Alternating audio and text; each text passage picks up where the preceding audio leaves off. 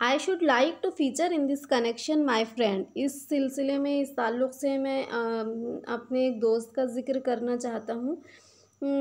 By this sorry the polite conductor खुश मिजाज conductor by this discriminating title I do not intend to suggest a rebuke to conductors generally मैंने conductor के साथ में polite खुश मिजाज का लफ्ज़ इस्तेमाल किया है।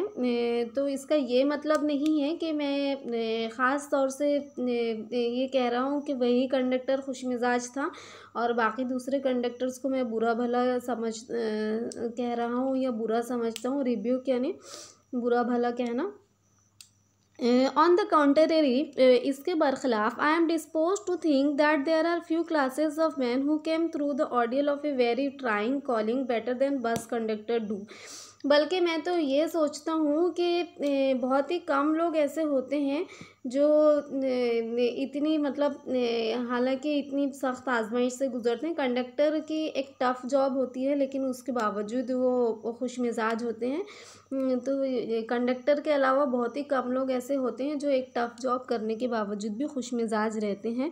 Here and there you will meet an unpleasant specimen who regards the passenger as his natural enemies as creatures whose chief purpose on the bus is to cheat him यहाँ वहाँ आपको कुछ ऐसे लोग मिल सकते हैं। कुछ बदमिजाज ऐसे कंडक्टर मिल सकते हैं जो पैसेंजर को अपना ज़ाती दुश्मन समझते हैं। और समझते हैं कि पैसेंजर का तो काम ही धोखा देना होता है। And who can only be kept reasonably honest by loud voice and aggressive manner और उन लोगों को सिर्फ़ गुस्से से और ज़ोर की आवाज़ से ही रिजनेबल रखा जा सकता है, ईमानदार रखा जा सकता है, वरना वो धोखा दे सकते हैं। But this type is rare rare than it is it used to be लेकिन इस तरह के कंडक्टर बहुत ही कम होते हैं, जो पैसेंजर से बदतमीज़ी से बात करते हैं पैसेंजर को एग्रेशन दिखाते हैं। I fancy the public owes much to the understand railway company मैं तो सोचता हूँ कि पब्लिक ने लोगों ने underground I fancy the public owes much to the underground railway company sorry I said understand writer कहते हैं कि मैं तो सोचता हूँ कि पब्लिक को अंडरग्राउंड रेलवे कंपनी का शुक्रगुजार होना चाहिए। शुक्रगुजार होते भी होंगे which also runs the buses ये अंडरग्राउंड रेलवे कंपनी एक रेलवे कंपनी है, जो कि बसेस भी चलाती है। For insisting on a certain standard of civility in its servant and taking care that standard is observed जो कि अपने एम्प्लॉयज़ को, उनके यहाँ जो लोग काम करते हैं रेलवे कंपनी में और बसेस में, वो इस बात पर ज़ोर देती है कि वो खुश अखलाक, महजब बने रहें और उसकी बाकायदा जाँच भी की जाती है।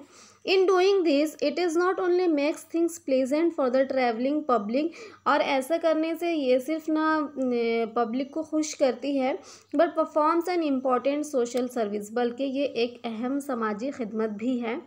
इट इज़ नॉट ऐसा नहीं है ये नहीं है। They are for with any feeling of unfriendliness to conductors as a class that I pay tribute to a particular member of that class ऐसा नहीं है कि मुझे बाकी कंडक्टर से अनफ्रेंडलीनेस की फीलिंग है या कुछ बुरी फीलिंग है, बस मैं इनको एक अपना ख़ास ट्रिब्यूट एक ख़ास इजहार अकीदत पेश करना चाहता हूँ, इजहार अकीदत करना चाहता हूँ इस मेंबर को।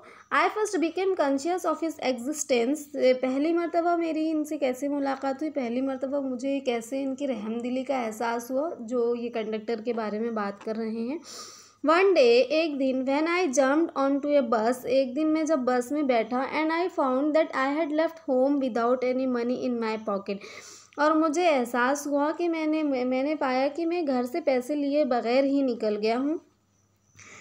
Everyone has had the experience and knows the feeling हर किसी को ऐसा तजुर्बा कभी हुआ होगा और वो इस फीलिंग को जानता है, समझता है। द मिक्सड फीलिंग कैसे मिले जुले एहसास आते हैं which the discover arouses you are annoyed because you look like a fool at the best and like an F at the worst एक ही वक्त में आप खुद को बे बहुत बेवकूफ़ भी तस्वूर करते हो कि ऐसे कैसे आप घर से पैसे लिए बगैर ही सफ़र के लिए निकल गए।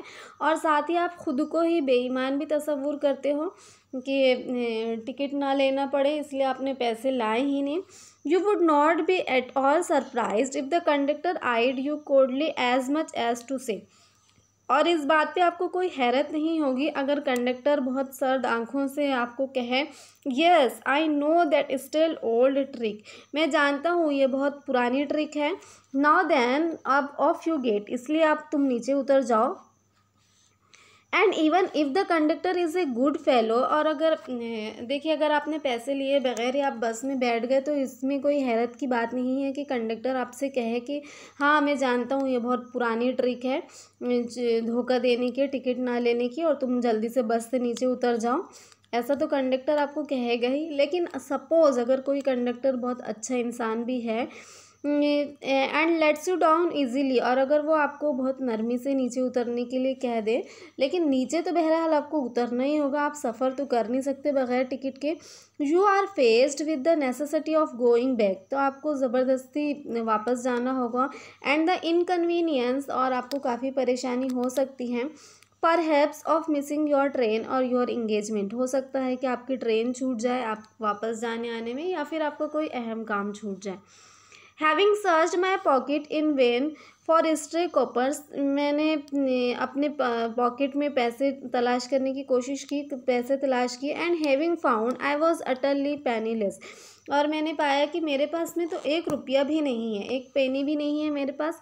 I told the conductor with as honest a face as I could assume that I couldn't pay the fare मैंने बहुत ईमानदारी के तासुरात अपने चेहरे पर लाते हुए कंडक्टर से कहा कि मेरे पास में किराया अदा करने के लिए पैसे नहीं हैं and must go back for money और मुझे पैसों के लिए वापस जाना होगा। ओ you needn't get off that's all right तो कंडक्टर सेड ही, कंडक्टर इनको कहते हैं कि, ठीक है, आपको नीचे उतरने की ज़रूरत नहीं है, ये ठीक है। ऑल राइट मैंने कहा हाँ ठीक है said I but I haven't a copper on me लेकिन मेरे पास एक सिक्का भी नहीं है। एक कॉपर सिक्के के लिए इस्तेमाल हुआ है। ओ I will book you through he replied तो वो कहते हैं कि, ठीक है, मैं आपको उसके बगैर टिकट दे दूँगा। Where do you want to go आप कहाँ जाना चाहते हैं? कंडक्टर ने इनको पूछा कि आप कहाँ जाना चाहते हैं? And he and he handled his bundle of tickets और उन्होंने अपना टिकट का बंडल पकड़ा with the air of a man who was prepared to give me a ticket for anywhere from the bank to Hong Kong उनके पास ticket का bundle था जो वो जिसमें से वो लोगों को दे रहे थे पैसेंजर्स को, जो भी बैंक से हैंगकॉन्ग की तरफ़ जा रहा था। I said it was very kind of him मैंने कहा कि ये मेरे लिए काफ़ी अच्छी बात होगी। And told him where I wanted to go और मैंने बताया कि मैं कहाँ जाना चाहता हूँ। And as he give me the ticket I said but where I where shall I send the fare और जब उन्होंने मुझे टिकट दिया तो मैंने उनको पूछा कि इसके पैसे मुझे कहाँ भेजने होंगे? टिकट ले लिया तो पैसे तो देने ही पड़ते ना। ओ you will see me someday all right तो कंडक्टर इनको कहते हैं, काफ़ी खुश दिली से कंडक्टर ने कहा ही सेड चेयरफुली चेयरफुली खुश मिजाजी से, खुश अखलाक़ी से, कि आप उसकी फ़िक्र मत कीजिए, कुछ ही दिन में दोबारा मेरी आपसे मुलाकात होगी। ही टर्न टू गो वो जाने के लिए पलटा कंडक्टर एंड देन और तभी लकीली खुशकस्मती से my fingers still wandering in the corner of my pockets lighted on a shilling and the account was squared मैं तो पैसे ढूंढ ही रहा था, हालाँकि ये बात हो गई थी, उन्होंने मुझे वैसे ही टिकट दे दिया था, फिर भी मेरी हाथ मेरे पॉकेट में थे ही, मेरी जेब में थे ही और मैं पैसे ढूंढ ही रहा था। तो मुझे एक सिक्का, एक शिलिंग मिल गया और मैंने वो कंडक्टर को किराए के पैसे दे दिए। और वो मामला सेटल हो गया।